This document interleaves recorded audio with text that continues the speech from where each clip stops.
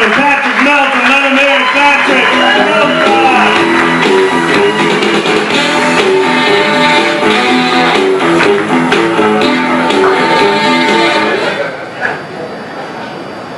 A little upset tonight.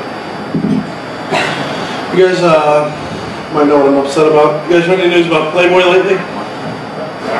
No? They're doing a uh, new feature in the new magazine called The Women of Walmart. Walmart. I thought I had low standards. I don't know what they could print on the magazine cover to make me buy this magazine. Seriously. Edna from Housewares reveals all inside. hmm See what she's been hiding behind that blue May I help you vest. And I wonder, are they going to take the pictures right there in the store? Going back to uh, electronics by the big wall of alarm clocks. Got Mildred from Layaway.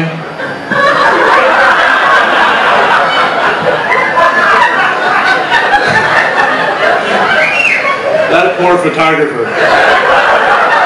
He's going to be going, that's all right, just leave the name tag on. You're fine, right there, it's perfect. Golly. And what's with all the elderly security guards in Walmart? I'm not, talking about the guys driving around the little golf cart with the flashing siren thing on it. I'm talking about the ladies at the door. They call them greeters, but they're security guards. And we used to call them dot Nazis. Does anybody know why? Because if you've ever tried to return anything to Walmart before, before you're allowed in the store, you got to get a green dot on it. So I go in with the CD and get a green dot on it, and I take it off and stick it on a TV. Out the door. I'm walking. I'm walking out the door. Easy. Yeah. I remember what it was like when I had my first beer too. But I'm walking out the door, and she's like, she's like, didn't you come in here with a CD? I'm like, no, check the dot. TV. Right there. But, but even better, they sell the dots right there in the store. You can go over to the stationery aisle, pick up a package of the dots. I like to buy the dots and stick it on the item I'm returning before I get to the store. That really throws them for you. You get there, they're like, oh. I was told I was supposed to put the dot on. They're so confused. We used to make a game of it back in college. We try to get in the store to return something without actually getting a dot on the item. We'd hide.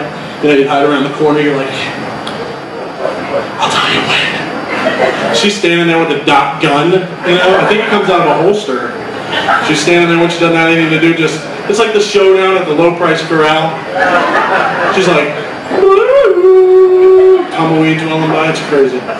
So I'm sitting there and we, and sure, I'll tell you when to go. She's busy with the carts. Go, go, go, go, go. You run in the door. And if you got up to the customer service counter without a dot on the item, they didn't believe it. They thought you wouldn't get it off the shelf. But that's a good thing about Walmart. You can return anything. You guys, there's not a person in this room hasn't returned something to Walmart. You know what I'm talking about? You could be the biggest, dirtiest, smelliest, seven-toed redneck and walk into Walmart. Anybody from Pasco County here? You know what I'm talking about.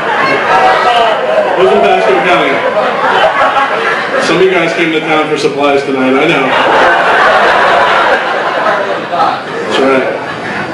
So you walk in there with a microwave and you're like, I got this microwave. It just stopped working last night. It's only seven years old.